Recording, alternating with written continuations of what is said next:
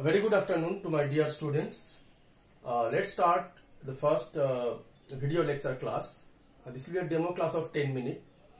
If you like such classes, then I can uh, continue in future also. The topic today, as it is written here, the Arden's theorem and its application.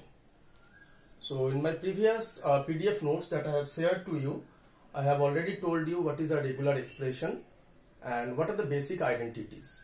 So my target is today to teach you the Arden's theorem and its application on the finite automata as well as regular expression. So first let us see why Arden's theorem. What is the need of this? Okay, so let's see. Suppose a small finite automata that I design here Q1 Q2 like this. So what is the initial state here?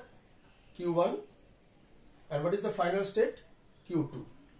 Now my question is what is the regular expression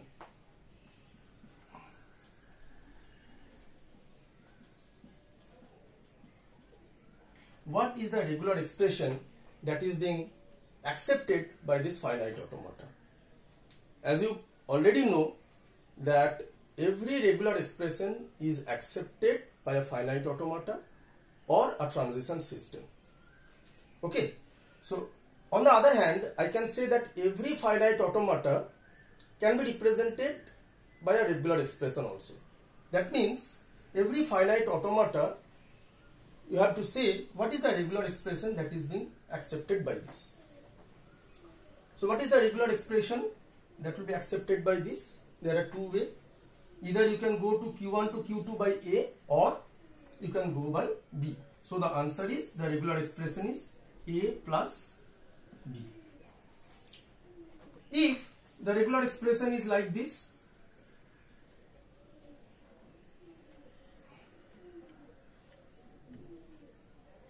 then if the finite automata is like this sorry then what is the regular expression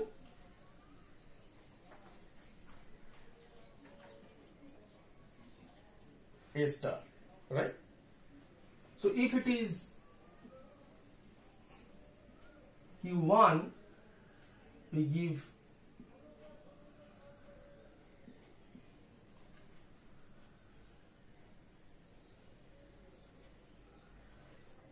then what is the regular expression that is being accepted by this finite automata?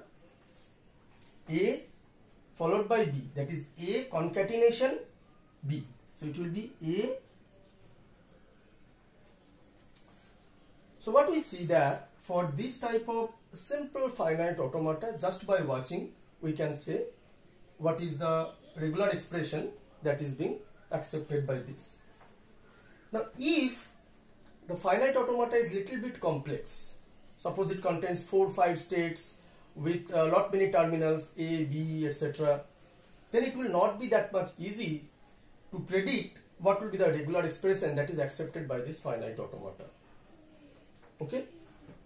So we need a very systematic method for using which I can say that for any finite automata, whether it is simple or complex, whether it is small or big, we will be able to say what is the regular expression that is accepted by this finite automata. Okay. And that is what is the role of Arden's theorem.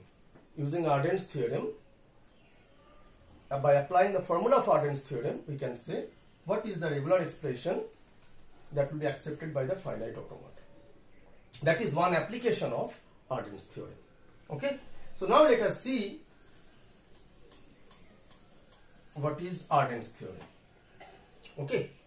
So at the end of this uh, video lecture, I will share you a PDF notes. There you will get the formal theorem.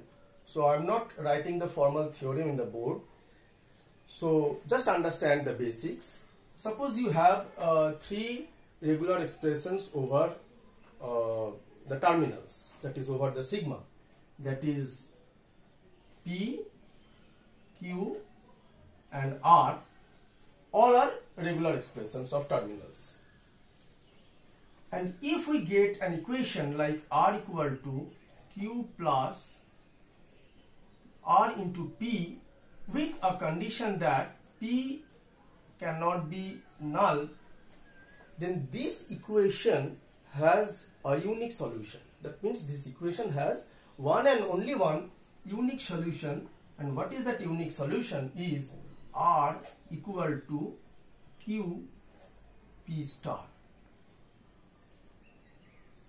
And remember p cannot be null because if p equal to null then r is equal to q into or q concatenation null star that becomes q so r equal to q that becomes a trivial solution. So the condition or the prerequisite of this equation is that p cannot be null. So once again i say if r equal to q plus r into p then r equal to qp star.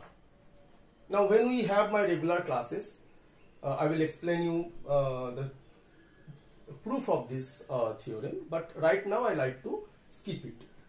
Okay so this is the basic theorem and now let us see some applications of it. I repeat once again, what is the application? That if a transition system or if a finite automata is given and you need to say what is the regular expression that is accepted by the transition system, then you will require this theorem. Okay. So we'll see a couple of examples in this uh, video class. Then I will give you some assignment. So tomorrow um, you can send me the assignment over the canvas class or you can also whatsapp me. Okay. Okay. So let us see a problem. The problem is like this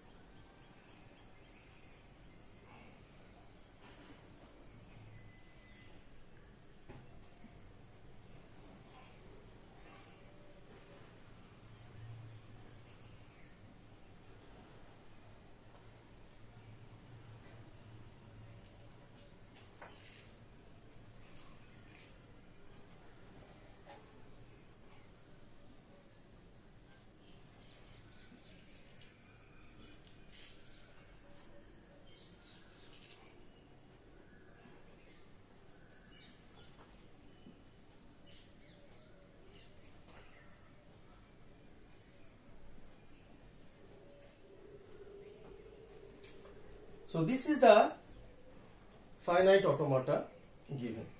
And what you need to say, what will be the regular expression that is accepted by this finite automata. And you, now you see, it will not be that easy. Like the three small examples that I have given in the beginning of the class, there just by watching we can say that it is A plus B or A star or A concatenation B. But in this case, uh, it will not be that easy.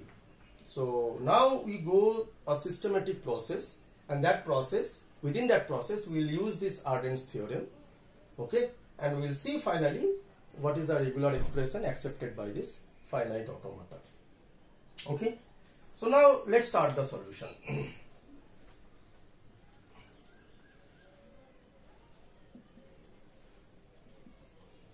okay. So every state will correspond to one equation. How many states are there? 4. Q1, Q2, Q3 and Q4. What is the initial state? Q1. What is the final state here? Q1.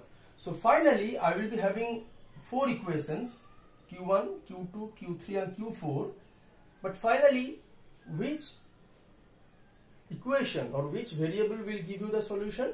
Q1, right? Why? Because Q1 is the final state or the accepting state. Okay. So let us write down the equations. First Q1 equal to Q2 equal to Q3 equal to and Q4 equal to. So what is Q1? We will see what are the incoming arcs. What is the incoming? So this is one incoming like this and this is one incoming like this and this is the initial state. So this is one incoming arc so considering this we get q2 and what input is coming? B right?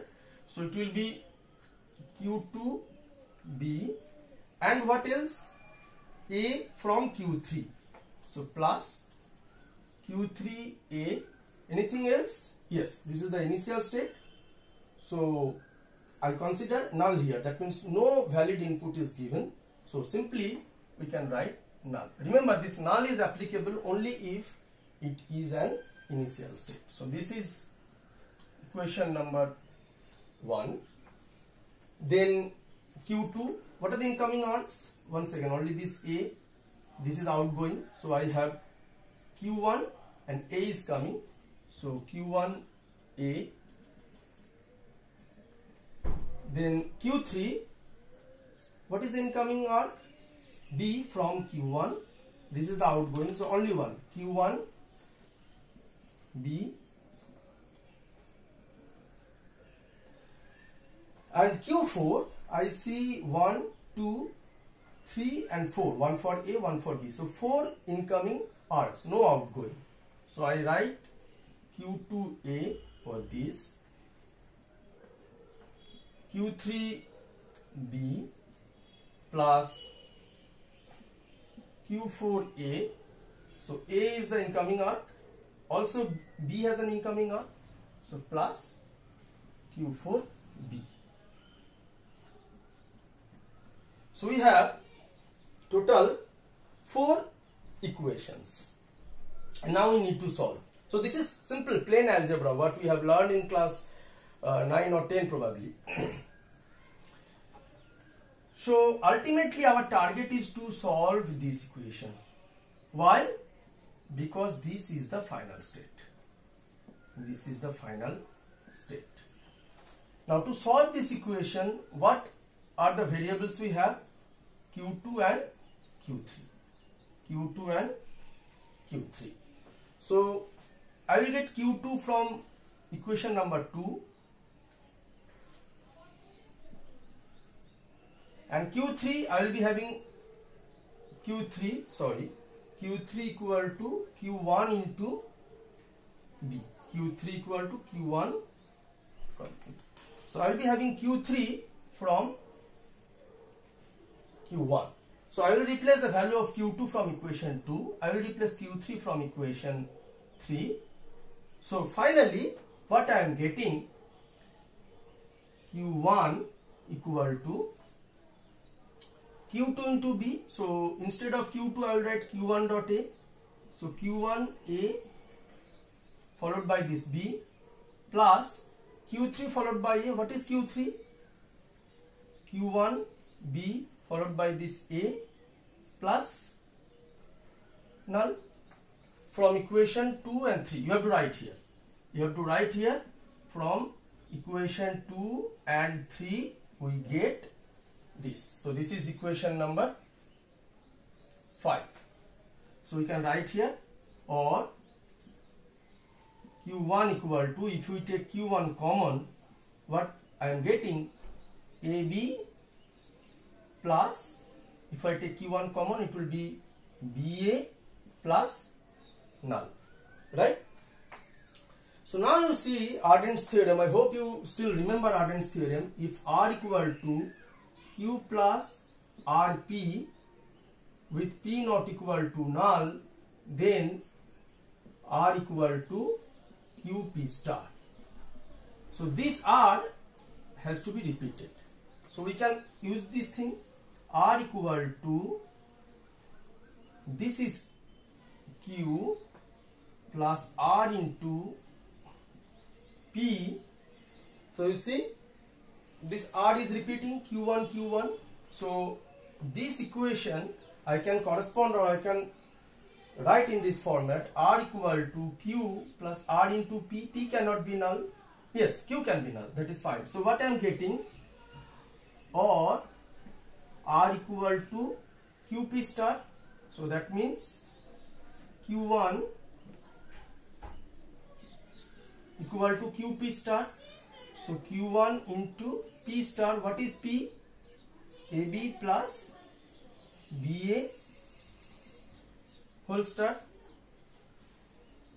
so if r equal to q plus rp r equal to that is q1 equal to qp star sorry what is q null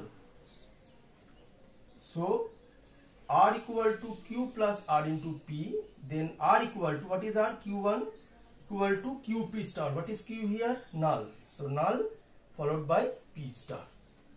And we know from the identities that we have already sent you in the previous class that null into r star equal to r star. In fact null followed by any regular expression equal to that regular expression. So that is equal to what I say AB plus BA whole star. So this is the regular expression that is accepted by this finite automata. Right? Now if you see this logically, this is nothing but two self loop. One with this, another with this. This is like what? In I think this is what I have discussed. You see there is no outgoing arc. So what I can say this? Yes, this is a trap state or dead state. So that is why I never use this Q4. Right. So if you see basically this is these are two self loop. These are continuously moving on. What is the self loop? You go through A and come back with B. That is this one. Or you go through B and come back with A that is BA. So basically it is a self loop on AB or BA. So AB plus BA whole star. So this is an example that if such type of finite automata is given then using Arden's theorem how you can calculate the uh, or how you can find out the regular expression. Okay. So if uh, this concept is clear then I would like to uh, give you three four uh, assignments on this uh, if you really like the class you can send me feedback. This is my whatsapp number or this email id so then we can take such uh, small classes like due to uh, huge internet uh, huge size of the video file i have to take classes of 15 to 20 minutes only. I cannot take one hour long class. But if you like such class i can regularly upload such uh, classes. Okay? So now uh, uh, after this class I will send you the assignment. That means 4 or 5 problems on this. I request you to solve the problem and send you send it to me by tomorrow. Okay. Thank you very much.